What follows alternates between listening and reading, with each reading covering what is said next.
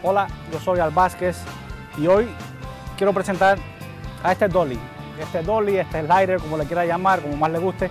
Eh, por mucho tiempo estuve buscando para comprar uno. Llamé a varias compañías, incluyendo algunas de las más grandes que hay en el mercado, para antes de decidirme probarlo. Pero al final no pasó nada y encontré en la página web que se llama Kickstarter a unos muchachos que estaban haciendo este. Este se llama Rhino y lo hacen aquí en Estados Unidos, fabricado en el estado de Seattle, en Washington. Y trae dos rieles, uno de dos pies y uno de cuatro pies. Eh, yo, yo cogí el que trae los dos modelos para cuando uno viaja poder empacarlo y llevárselo. Él se arma y se desarma muy fácil.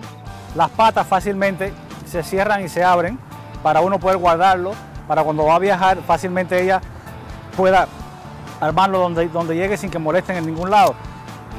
Okay, así se queda el al final o se pueden quitar completa, no hay necesidad de quitarla completa y se ajustan con unos dientecitos que tienen acá y se ponen más o menos que queden al mismo nivel, no pesa nada y está hecho completamente de fibra de carbono. Hay muchas cosas que me gustan de él, hay otras que espero que mejoren eh, porque no las tiene. Por ejemplo, él viene en esta caja y la caja tiene un espacio para meter una bolsa, pero la bolsa no viene, la bolsa eh, te la venden aparte. Trae para montarlo desde el centro en un tripod, en un trípode y también eso te lo venden aparte. Entonces toda la publicidad de esta compañía fue centrada básicamente en que cualquiera lo puede comprar porque es muy económico y verdad que es muy económico, pero si uno empieza a sumarle las cosas que lleva para poder usarlo, se puede poner un poquito caro. Pero eh, de momento lo puede usar así, ¿ok? Lo puede usar así, de cualquier manera que quiera.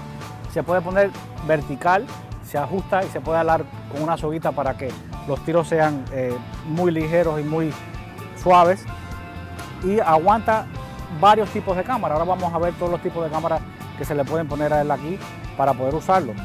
Con cualquier tipo de cámara, él rueda bien. O sea, estamos hablando de cámaras que pesen no más de 10 libras, ¿no?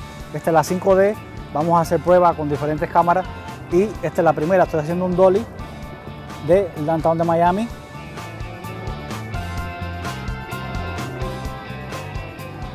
Ahora estoy haciendo este tiro con la cámara 60D.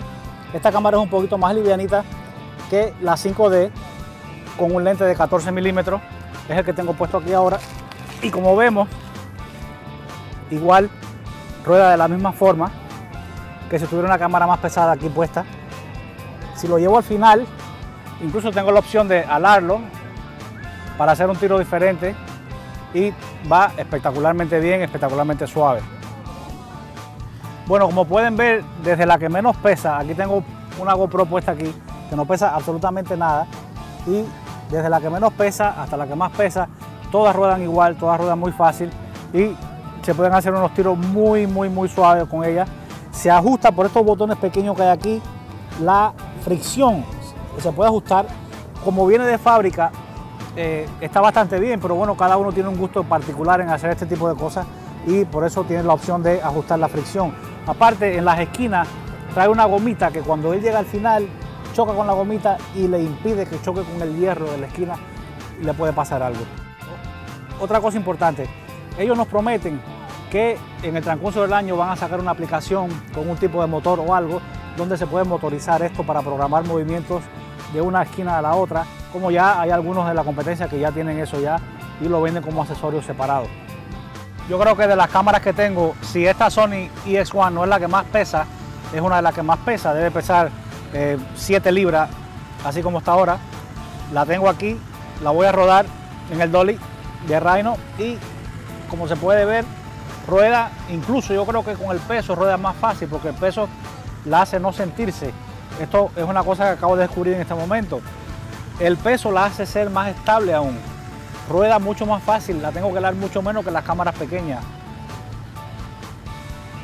Definitivamente, de todas las cámaras, la C300 es la cámara más pesada, ya lo puedo ver, pero sin embargo pasa exactamente igual que con la Sony, que hay una fricción perfecta porque el peso eh, hace que ruede, es como un camión que mientras más carga tiene atrás, mejor camina. Pues así es lo que está pasando aquí en este momento. Suave, suave, suave y es perfecto, me encanta. Viene con un accesorio que se llama el pulley. Se amarra aquí un tornillito con una soguita que se pone en esta punta y se ala para tiros verticales como este. Estoy aquí a 45 grados, quiero hacer un tiro, pero bueno, yo no ordené este accesorio, lo ordenaré más adelante o ya veré lo que hago. Pero en este caso yo uso la agarradera de mi cámara y perfectamente hago el tiro, alándola. Y como pueden ver es un tiro bastante suave y es muy lindo porque lo estoy mirando aquí yo por este lado de la cámara y es un tiro espectacular, es un tiro a 45 grados con el mismo Dali. Solo quiero decir que estoy contento con la compra, a pesar de que hay cosas, como dije antes, que no me gustan para nada y la que menos me gusta para nada es que aquí atrás no hay nada que venga aquí que yo lo pueda usar para montarlo en un tripod a menos que compre una pieza separada que viene con tubos separados. Eso no me parece bien. Cualquier slider que uno compra en el mercado, por muy caro o muy barato que sea, usted lo puede poner en un tripod. eso es importantísimo. Este solamente se puede poner en dos, uno aquí y uno allá.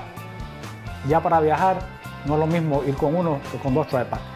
Pero aparte de eso, todo lo que tiene me parece fabuloso, no pesa nada, fibra de carbono y rueda, esto rueda fenomenal.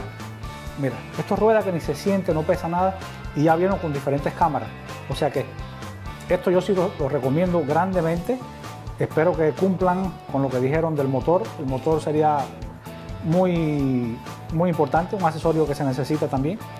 Eh, así que ahí lo tienen, el Rhino Slider, completamente de fibra de carbono y, como dicen ellos, hecho en América. Ya casi nada es hecho en América.